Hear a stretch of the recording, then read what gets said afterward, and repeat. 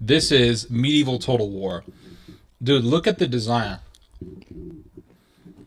Dude, look at the design of this game. Doesn't this layout just scream early 2000s?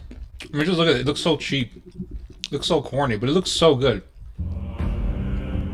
Dude, it has Gregorian chant.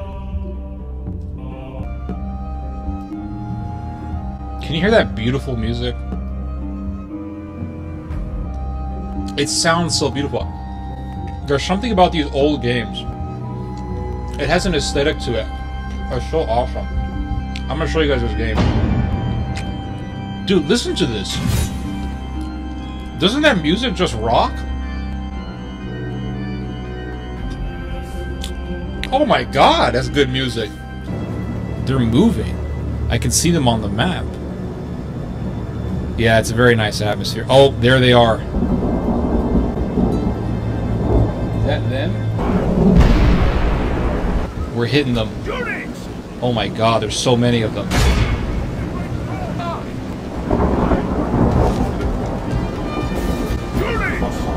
Guys. Full attack. Hit him, hit him, hit him, hit him. Hit these bastards. Kill them. What more of these assholes do we have to kill? Anyone else? We're taking this island. We're taking this island. You ain't gonna run. You ain't gonna run. We are taking... Oh, shit. You got a whole force of them here. What do you... The enemy ah! flees the battle. this. Run down those worthless Yes. peasants. By the it. Lord above, our foe has been much humbled. Let all Guys, this game, Medieval 2 Total War. This game came out in 2006. I'm like, where the hell have you been my entire life? I listen. I've been playing console games my whole life. I, I have I had the N64. I played uh, uh, Mario Kart, Super Smash Brothers.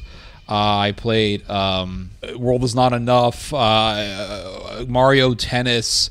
And then when I got when I got the GameCube, you know, it was all about Metroid Prime, Resident Evil 4, Freedom Fighter. What else did I play? I mean, I got this Rainbow Six, whatever. I, I got the 360. You know, played Halo, and I played all this other stuff. And then I got the uh, the Xbox One and then I played, you know, Red Dead Redemption and all the other games. Played all the different Resident Evil games. You know, I'm playing Modern Modern Warfare and all this other stuff. And I'm like, man, these games are so good, cool. And then I look at these MMO games, right, like World of Warcraft, and I'm thinking, man, them games look hella boring, right? And then I see these nerds on the internet, and they're crying about how, oh, games, gaming is not the same as it used to be. Games today suck. Blah blah blah. Nothing can beat the games from the early 2000s. And then I started playing Total War Medieval 2. I got the game, right? And I started playing it. I was playing it. I started playing it at like 5 a.m. Dude, I was playing it until 9 a.m. This game is so awesome. I can, in this game, guys, in this game, I can start my own empire. I can start my own empire. I pick the, so they, they, they allow you to pick different empires, right? So you can pick the English Empire, England, Spain, France, Byzantine Empire, I straight up I picked the smallest empire ever. I picked Venice. I picked the Venetian uh, government, the Republic of Venice. And man, I'm taking territory. Byzantium has declared war on me. Holy Roman Empire declared war on me.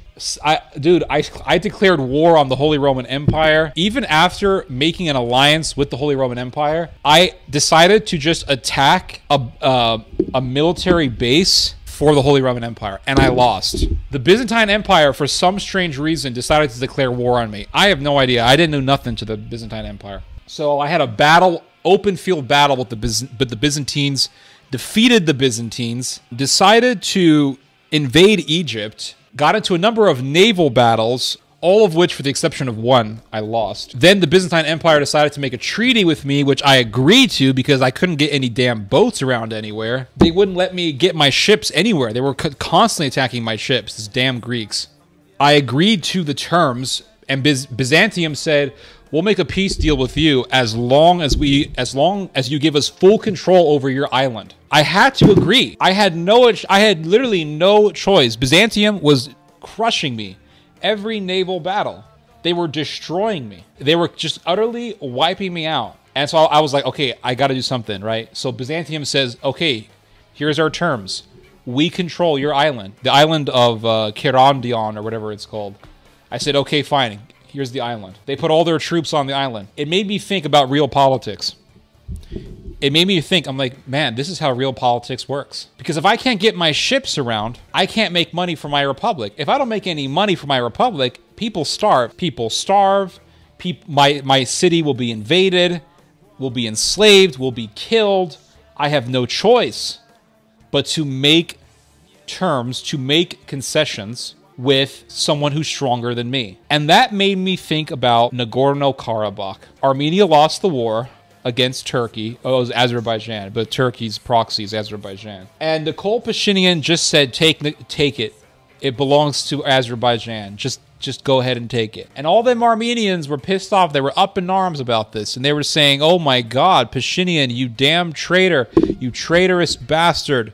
You gave away Nagorno Karabakh, and they're hating on Pashinyan. And I'm thinking, hot damn, I'm playing a video game, and I'm already giving up. I'm already, I'm already ceding territory to Byzantium. And I'm pretty certain if I was a real life emperor and I gave away an island to, to the Byzantine Empire, there would be people rioting about me saying this bastard traitor, he gave away Kidong Dalion or whatever the name of the island is.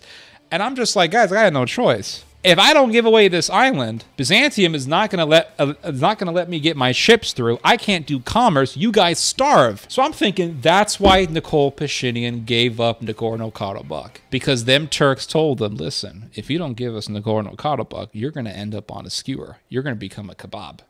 That video game, Total War, it teaches you more about politics than any book I've ever read. It does. It teaches you about politics. I mean, that game is just, it's a fun way to learn about politics, geopolitics. The Pope sent me a letter. I attacked the Holy Roman Empire. Why? For fun. I found a, a, a, a base, a Holy Roman Empire base, with only about 42 soldiers. I hit it with like 300 soldiers. Problem is, I forgot to bring catapults. So I couldn't even penetrate the walls. The Germans, the Austrians, they just stayed in their base. They didn't even do anything because they didn't have to the Pope sent me a letter, and the Pope is like, hey, you better make peace with the Holy Roman Empire. Because if you don't, I'm going to excommunicate you. And if I excommunicate you, your people can revolt. And then you're not going to get anywhere. You ain't going to get a damn thing. You ain't get no money. You ain't going to get nothing. So I got the letter from the Pope, and I was like, screw you. And then I heard, wait a second. If I get excommunicated, my people can revolt against me. Oh, damn, I better be nice. So I sent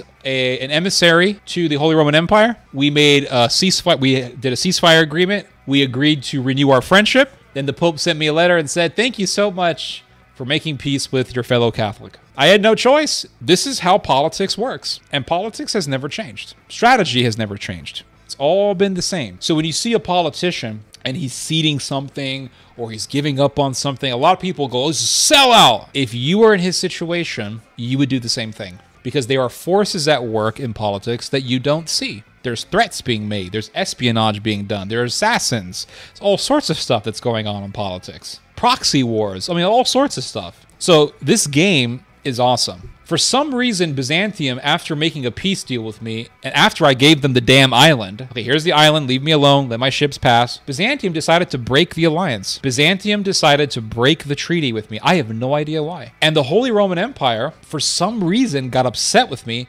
after I invaded Cairo. And maybe it had oh i think i know why. See i was wondering why did the because i made peace with the holy roman empire made peace with the habsburgs whatever they were called. Then they then they broke the the holy roman empire decided to decided to uh, renew their animosity towards me. And i was wondering why because it seemed out of nowhere but i think i know why. I invaded cairo without the pope's blessing. After invading cairo I made a peace agreement with the Egyptians, and then the Pope wrote a letter or I got a uh, I got a I got an announcement that because I invaded Cairo, the Pope pulled out his crusading forces from Cairo, essentially saying, "How dare you do a crusade without the blessing of the Vatican?" And then after I invaded Cairo and I got that announcement, Holy Roman Empire declares war on me. So I don't know what I'm going to do. I might have to fight a war on two fronts because now I got the Byzantines to deal with, and I got the Holy Roman Empire, and they're pissed off at me, and I'm just poor little Venice. I'm just trying to make some money. You know, the Ottoman Empire approached me,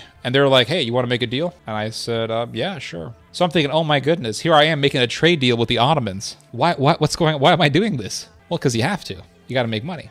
Wait, I can make deals with whoever I want. Yeah. I can declare war to whoever I want to declare war. Yep. I can make diplomatic relations with people. Yep. I can break diplomatic relations. Yep.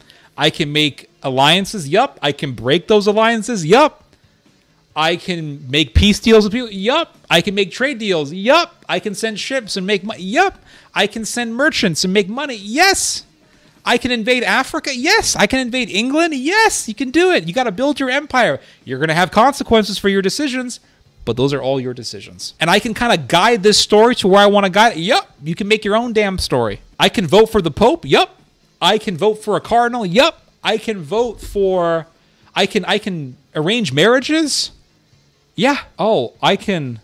What what else can I do? Like you can do anything that is involved in empire building. Now that shit is fun. And the music in the game is so relaxing. Dude, playing this game, it's like it's like it's like mesmerizing yourself. You're enchanting yourself playing this game. It's mind control this game. I'm playing the game and they got this like baroque music playing in the back. I'm this is like this game's a masterpiece. This this is a masterpiece of a game. This is the great I've played. I played Red Dead Redemption one and two. I played Metroid Prime. I played all the Resident, almost all the Resident Evils. I played, uh, you know, a lot of the war, the, the Modern Warfare games. Uh, Battlefield. I played. I, I played a lot of games. I have never in my life played a game as addictive as Total War. Total War, Medieval Two. Total War came out in 2006, and people are still playing it. That game is damn good.